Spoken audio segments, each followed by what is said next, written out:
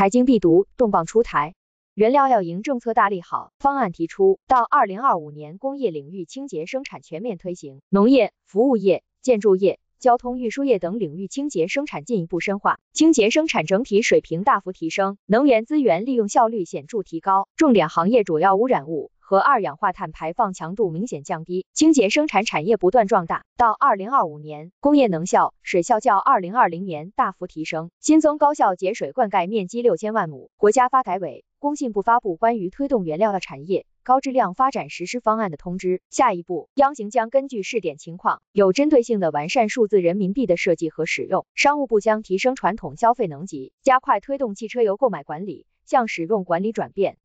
支持新能源汽车产业加快发展，繁荣活跃二手车市场。商务部副部长王受文日前表示，中国有十四亿人口的大市场，有世界规模最大的中等收入群体，居民消费结构正处于持续升级阶段，多层次、多样化需求特征明显，消费市场潜力大，具有广阔的进一步发展空间。目前相关部门正在制定有色金属。建材、钢铁行业的碳配额分配方法，推动上述三大行业企业参与碳交易。市场监管总局等联合要求，严格落实有关政策文件要求，不区分学科类、非学科类，要确保做到主流媒体及其新媒体、网络平台以及公共场所、居民区等线上线下空间不刊登、不播发面向中小学的校外培训广告。